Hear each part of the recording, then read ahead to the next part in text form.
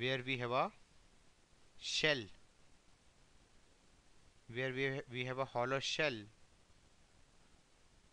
Where left part of the shell has charge distribution of minus sigma. This is charge per unit area.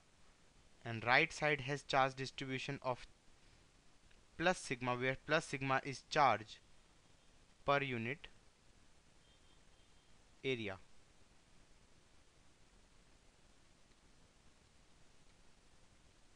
find dipole moment. Find dipole moment.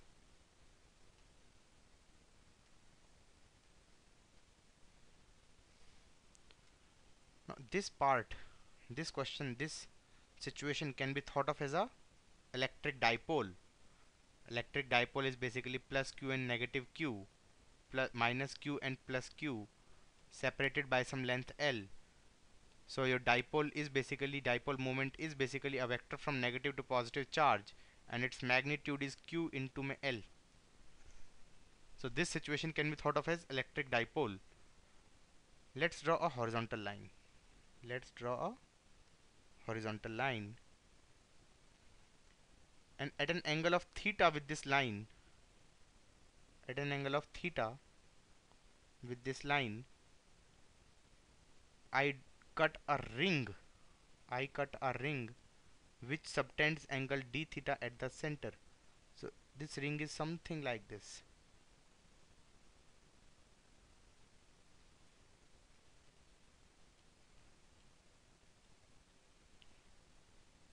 Radius of the shell was r. Radius of this ring is gonna be r sine theta and this distance is gonna be r cos theta. Let's say this charge is plus dq.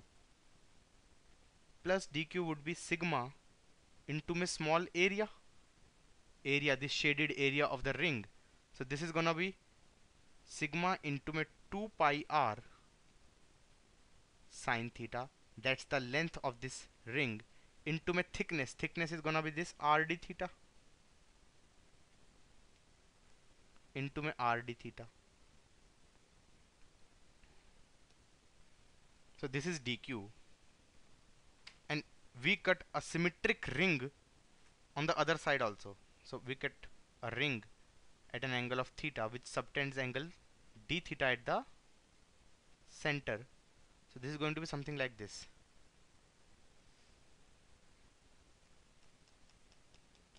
and this charge is going to be minus dq. These charges plus dq and minus dq are separated by this distance. This distance is going to be 2r cos theta.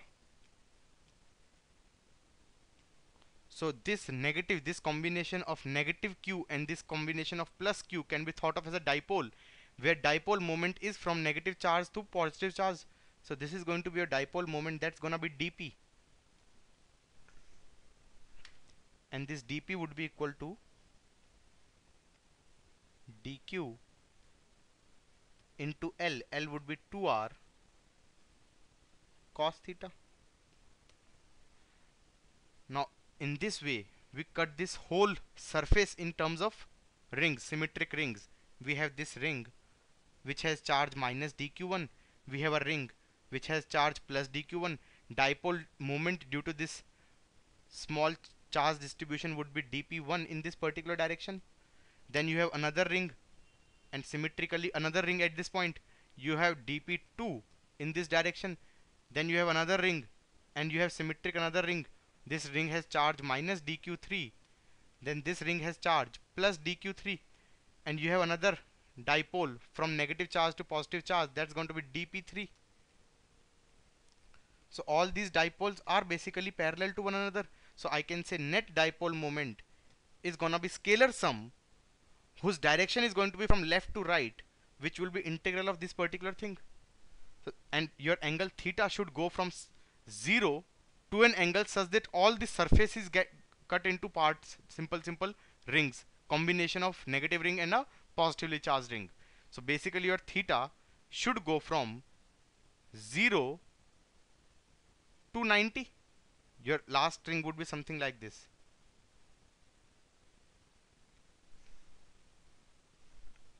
Your let's see this again. This was our shell and we have one ring and one ring. Then we have another ring then another ring. Then this we have this ring and we have this ring. This angle was theta. So this theta should go from 0 to 90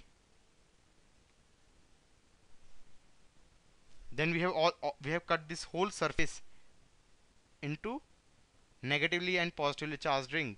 So basically your theta should go from 0 to 90 and your net dipole moment would be integral of this part. This will be sigma 2 pi r sine theta into r d theta into 2r cos theta 0 to pi by 2 and the dipole moment is going to be in this particular direction. Once you have calculated this dipole moment there can be a very nice question based on this particular thing. Suppose we have a shell whose left side has charge minus sigma and right side has charge charge per unit area plus sigma. This is a shell. This is a hollow shell and suppose electric field is asked at a point very very far away from this shell where R is very very greater than R Find electric field and potential at point A and find electric field and potential at point B.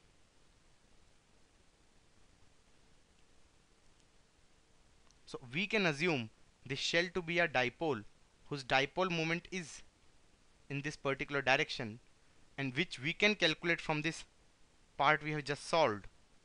And we can say put electric field at A would be in this direction and its magnitude is going, going to be 1 by 4 pi epsilon naught that's k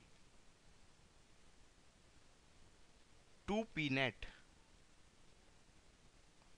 upon small r cube. This is your electric field.